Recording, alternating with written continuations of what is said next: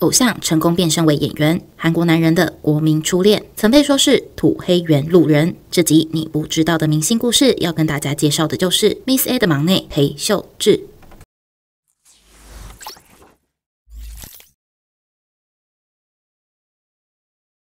一九九四年十月十日出生于光州，从小妈妈就经营小吃店，现在则是将原有的小吃店整修后营运咖啡厅。而爸爸裴元英是国际院公认六段跆拳道选手，所以秀智也是从小就学习跆拳道，并且拥有黑带二段的实力。受到国二出道的宝儿影响，小四时就开始喜欢唱歌跳舞，并梦想成为歌手。虽然父母亲反对，但他还是偷偷的跑去舞蹈学院上课。国中时，他加入热舞社，每次学校有活动时，他就会自己编舞并参与演出。为了表演，他会练习到晚上十一点，努力练习的成果也让他在舞蹈大会上获奖。而外貌清秀的他，也曾经在网拍上担任模特儿赚取零用钱。二零零九年国三时，他参加 Mnet 选秀节目 Super Star K 光州地区初选，并在选秀会场上被 JYP 的星探相中，因此进入 JYP 当练习生。而职员说，当时 JYP 选人的标准是只要外貌、歌唱、舞蹈之中有一样符合标准就可以被入选，但秀智是三样都符合。经过一年多的训练，二零一零年七月以四人女子团体 Miss A 出道，主打歌 Bad Girl Good Girl，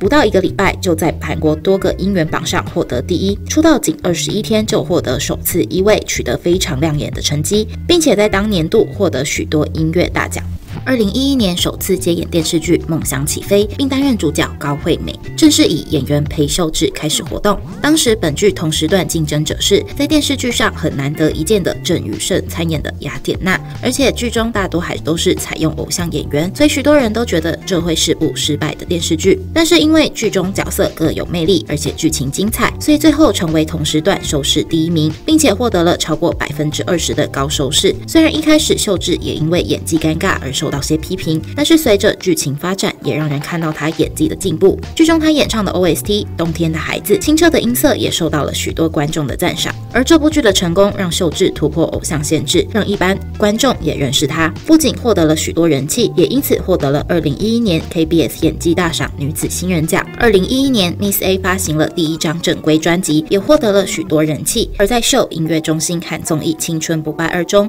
也获得固定出演。不仅在歌唱方面，还跨足了演戏和综艺，成为了女子偶像中最火红的明星。二零一二年二月，Miss A 发行了迷你一集《Touch》之后，便出演电影。初恋逐梦一零一片中饰演韩家人的年少时期，虽然刚上映时的人气并不是太高，但是当时片中曹正奭饰演的纳德教主角该如何接吻的片段引起了热议，而剧中秀智清纯的模样也勾起不太看爱情电影的三十岁男性初恋的回忆。而随着大家口耳相传，最后突破了四百一十一万观影人数，成为当时爱情小品电影观影人数最高纪录。秀智也因为这部电影获得了广大的人气，也被称为是国民初恋，并在第四十八届百想艺术大赏中获得新人奖，这部作品也成为秀智的代表作之一。而伴随着人气，广告代言也接踵而来。之后，他不仅参与电视剧、综艺、广告代言演出，还是继续有团体活动。而努力活动下，他获得了最佳广告模特儿奖、人气奖、娱乐部门最佳新人奖等等。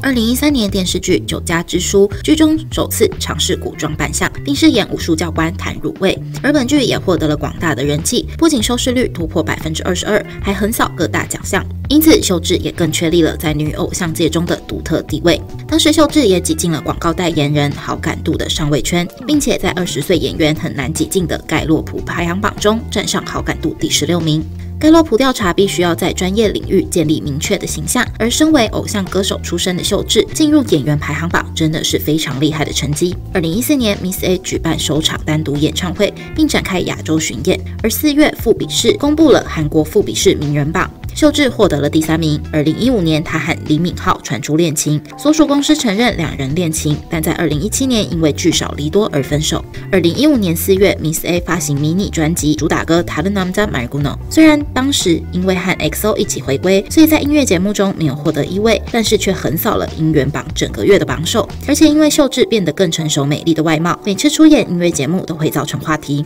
之后，她出演电影《绝代恋歌》，并再次获得了第五十二届百想艺术大赏电影部门女子人气奖。虽然电影卖座不佳，但是试映会上，因为秀智邀请的男艺人都是大咖，造成了话题。当时跟她演出过《梦想起飞》的金秀贤，《酒家之书》的李生基，《初恋逐梦一零一》的刘演熙，和即将播出的电视剧《任意依恋》的金宇彬都到现场支持。就连在电影节都很难一同出现的演员们齐聚一堂。而且当时秀智的男友还是李敏镐，因此她也被称作是男神收割机，许多女粉丝都非常的羡慕她。二零一六年初，他和 XO 的伯贤合作歌曲《Dream》，在公开前就已经有众多粉丝期待。音源一公开，立刻就登上各大音源榜的榜首，许多人都对秀智的音色感到惊讶。而这首歌虽然没有上音乐节目上宣传，但还是连续两周在音乐银行和连续三周在人气歌谣中获得一位。七月播出的电视剧《任意依恋》，搭档金宇彬一同演出，当时未开播就已经因为主角光环而造成轰动。但与期待值相相比，因为剧情老套以及节奏混乱，就算主角颜值跟演技好，都无法赢得观众的心。二零一七年，秀智发行首张个人迷你专辑《是否》，发行前先行公开歌曲《h a m b o Canto》，之后正式发行专辑，立刻占据八大榜单的榜首，创下亮眼成绩。这张专辑，秀智也展现出与过往完全不同的成熟魅惑形象，让粉丝们眼睛为之一亮。